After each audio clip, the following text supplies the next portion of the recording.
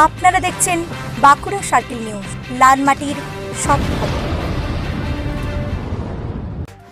পূর্ব বর্ধমানের জামালপুর ব্লকের অমরপুরে জ্যোতিষিরাম অঞ্চলে তৃণমূল কংগ্রেসের উদ্যোগে পালিত হল ঈশা হক, মল্লিক ও পাচু গোপাল, রুইদাস এবং উত্তম ভুলের স্মৃতির উদ্দেশ্যে শহীদ স্মরণসভা।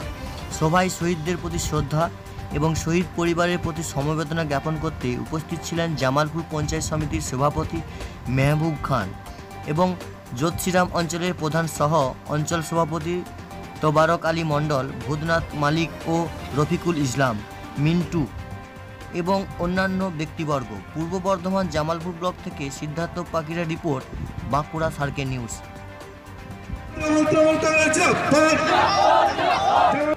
আমার সশস্ত্র প্রণাম জানাই উপস্থিত হয়েছেন আমাদের অগণিত তৃণমূল কংগ্রেসের লড়াকু সৈনিকবৃন্দ যাদেরকে শহীদ পরিবারের তরফ থেকে আমার শ্রদ্ধা প্রণাম। শহীদ ভূ তাকে আমি অভিনন্দন জানাই।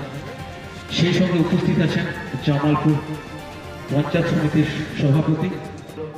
নিজের কোলে আঁকড়ে ধরে থাকার মতো রয়েছেন সেই আমার প্রিয় দাদা সম্মানীয় মেহমুদ খান মহাশয় তাকে আমি শ্রদ্ধা জ্ঞাপন করছি।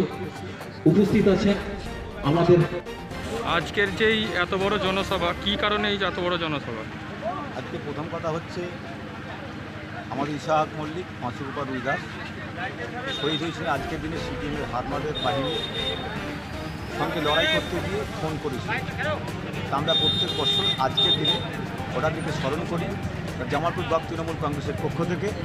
আজকে আমাদের এই জোশিরাম অঞ্চলে জামালপুর ব্লকে কিছু আমাদের নেতৃত্ব এখানে উপস্থিত আছে উত্তর কর্মদক্ষ ভূতনাথ মালিক। এবং আমাদের এখানে মিন্টু তাবরক আলী এবং প্রধান, উপপ্রধান সকলে উপস্থিত আছেন। আজকে আমরা স্মরণ সভা করলাম। তার সঙ্গে মাননীয় মুখ্যমন্ত্রী মমতা বন্দ্যোপাধ্যায়, আমাদের দলনেত্রী এবং দিল্লি যে বাংলাকে বঞ্চনা করছে, সেটাও আমাদের আজকে বিক্ষোভ এখানে করলাম। এই বিক্ষোভে সকলেই আমাদের উপস্থিত ছিল। এখান এই ক্ষেত্রে আমাদের যে বাহান্ন হাজার কোটি টাকা আমরা পাবো এবং আমাদের মাননীয় মমতা বন্দ্যোপাধ্যায় যা যা নির্দেশ দেবে আমরা সেই নির্দেশ আমরা পালন করব। তাই আজকে স্মরণ সভায় ইসাক মল্লিক মাসুম্পা রুইদাস উত্তম ভূত তাদেরকে আমি প্রণাম জানাই।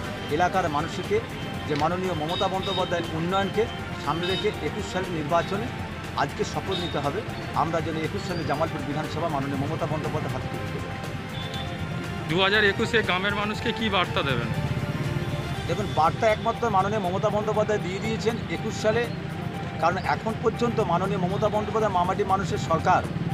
যদি মানুষ এমন একটা মানুষ নেই যে উন্নয়ন তার বাড়িতে ঢোকে না।